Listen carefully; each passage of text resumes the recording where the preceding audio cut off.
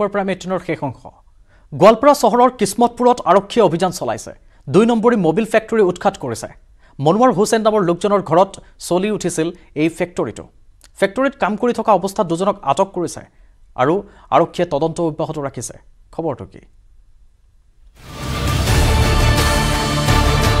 Fake sticker লগোৱা Kestrel বাজাজৰ আৰু হিৰ'ৰ ফেক ষ্টিকাৰ লগোৱা এটা ফেক্টৰী বুলি ক'ব পাৰে আপোনালোকে। গোৱালপাৰাৰ এখন চহৰ কিসমতপুৰ এই চহৰত যদি কোনোবাই বাহনত মবিল ভৰায় তেন্তে হঠাৎ খৰাব হৈ পৰিব পাৰে কিসমত। কাৰণ এই কিসমতপুৰত এটা দুষ্ট চক্ৰই বনাই আহিছে দুই নম্বৰী মবিল। ডুপ্লিকেট মবিল যিটো কয় মবিলটো বনায় এই কিসমতপুৰতেই আৰক্ষীয়ে অভিযান চলাই উৎখাত কৰিলে এটা দুই নম্বৰী মবিল ফেক্টৰী। মনোৱাৰ হুছেইন নামৰ লোকজনৰ ঘৰত চলি আহিছিল এই ফেক্টৰীটো ফেক্টৰীত কাম কৰি থকা অৱস্থাতেই আৰক্ষীয়ে আটক কৰে দুই যুৱক আৰৱাজ হুছেইন আৰু ইব্ৰাহিম হুছেইনক। ইয়াৰে প্ৰথমজন ঘৰৰ মালিকৰ পুত্ৰ আৰু আনজন তেওঁৰ জোৱাই। ইয়াতে যি দুজন তেওঁলোকৰ ৱৰ্কাৰ আছিলে তেওঁলোকৰ নাম হ'ল আৰবাজ হুছেইন আৰু ইব্ৰাহিম হুছেইন। তেওঁলোকে কাম কৰি থকা অৱস্থাতে সেইখিনি আটক কৰিব পৰা হৈছে। দীৰ্ঘদিনৰ পৰাই মনোৱাৰ হুছেইনে ঘৰতে নামী দামী কোম্পানীৰ লেবেল লগাই প্ৰস্তুত কৰি আহিছিল দুই নম্বৰী মবিল। মানে ফেক ষ্টিকাৰ লগোৱা কেষ্ট্ৰল আহ, বাজাজৰ আৰু হিৰ'ৰ ফেক ষ্টিকাৰ লগোৱা আহ, এটা ফেক্টৰী বুলি ক'ব পাৰে আপোনালোকে মিনি ফেক্টৰী পোৱা যায়।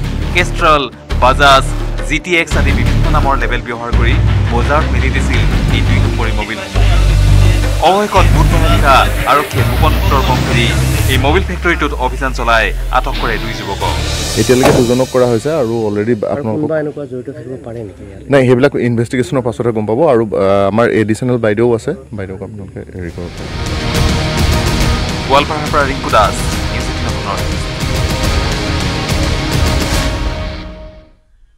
এটা উদ্বেগজনক খবৰ সমগ্ৰ দেশতে এই বছৰৰ জুলাই মাহলৈকে ছয় লাখ চৌসত্তৰ হাজাৰ একৈছটা চাইবাৰ আক্ৰমণৰ ঘটনা সংঘটিত হৈছে।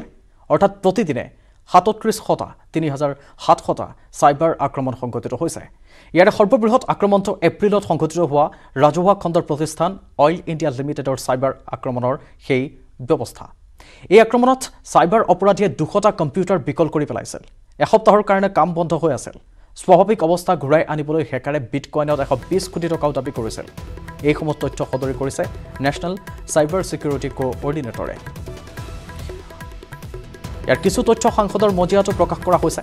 দিল্লীৰ পৰা প্ৰকাশিত এখন ইংৰাজী দৈনিকত এই সন্দৰ্ভত মন্তব্য প্ৰদান কৰি নেশ্যনেল চাইবাৰ ছিকিউৰিটি ছেক্ৰেটেৰিয়েটৰ মুৰব্বীগৰাকীয়ে কয় যে হেকাৰৰ পৰা বেংক কভিড প্ৰতিষেধক গৱেষণা কেন্দ্ৰ একো বাদ পৰি যোৱা নাই। অইলত আক্ৰমণ সন্দৰ্ভত মন্তব্য প্ৰকাশ কৰি সমন্বয়কগৰাকীয়ে কয় যে এই আক্ৰমণ ইমানেই গুৰুতৰ আছিল যে প্ৰতিষ্ঠানটোৱে আন এক ছফ্টৱেৰ ব্যৱহাৰ কৰি কাম আৰম্ভ কৰিবলগীয়া হৈছিল।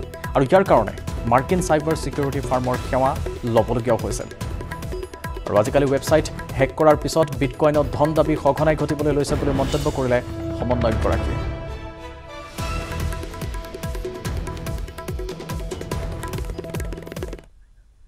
কামপুৰত জাপানীজ এনকেফেলাইটিছত এজন লোকৰ মৃত্যু হৈছে। আমি থোৰতে চাওঁ আহক ৰাজ্যৰ কেইবাটাও খবৰ। মৃত লোকজন কামপুৰৰ অমৰাৱতী গাঁৱৰ প্ৰবীণ চন্দ্ৰ বৰা বুলি জানিব পৰা গৈছে। প্ৰবীণ চন্দ্ৰ বৰা বিগত এটা মাহে অতি সংকটজনক অৱস্থাত গুৱাহাটী মেডিকেল কলেজত চিকিৎসাধীন হৈ আছিল।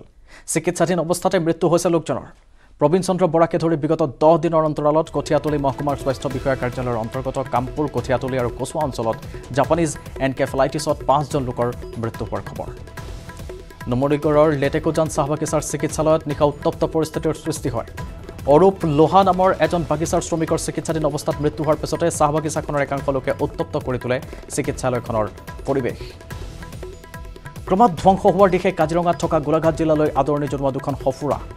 গোলাঘাট আৰু নগাঁও জিলাৰ সীমান্তত গোলাঘাট জিলা প্ৰশাসনে নিৰ্মাণ কৰা দুখন আটকধুনীয়া বৃহৎ আকাৰৰ সফুৰা এতিয়া যিকোনো মুহূৰ্ততে বাগৰি পৰিব পাৰে। শিৱসাগৰ ৰেলৱে ষ্টেচনৰ সমীপত ভয়ংকৰ দুৰ্ঘটনাৰ খবৰ ৰাজধানী এক্সপ্ৰেছৰ খুন্দাত নিহত হৈছে এজন। নামনি পোৱাৰ ৰাজধানী এক্সপ্ৰেছৰ খুন্দাত ছিন্ন ভিন্ন হৈছে লোকজন। বৰ্তমানো উদ্ধাৰ হোৱা নাই নিহত ব্যক্তিজনৰ পৰিচয়। মুখ্যমন্ত্ৰী ডক্টৰ হিমন্ত বিশ্ব শৰ্মাৰ নিৰ্দেশৰ পাছতে বানত ক্ষতিগ্ৰস্ত পৰিয়ালৰ ঘৰে ঘৰে ছাৰ্ভে দল সোমাইছে। বানত ক্ষতিগ্ৰস্ত হোৱা পৰিয়ালক উচিত ক্ষতিপূৰণ দিয়াৰ অৰ্থে এতিয়া পুনৰীক্ষণ কাম অব্যাহত আছে দৰং জিলাতো। তৃতীয়বাৰৰ বাবে পৰীক্ষা কৰিছে বানত ক্ষতিগ্ৰস্ত হোৱা পৰিয়ালৰ ঘৰসমূহ। এগৰাকী কিশোৰীৰ কঠোৰ জীৱন সংগ্ৰাম। পাচলিৰ ব্যৱসায় কৰা পিতৃক সহায়ৰ বাবে বাছি লৈছে ব্যতিক্ৰমী পন্থা। পিতৃয়ে কিশোৰীগৰাকীৰ আগ্ৰহৰ বাবে যোগাৰ কৰি দিয়া ই ৰিক্সাৰে যাত্ৰী কঢ়িয়াই নিজৰ লগতে পৰিয়ালক আৰ্থিকভাৱে সহায় কৰাৰ প্ৰয়াস কৰিছে। সোণাপুৰৰ মালৈবাৰীৰ এগৰাকী কিশোৰীৰ নাম হৈছে পূজা কলিতা।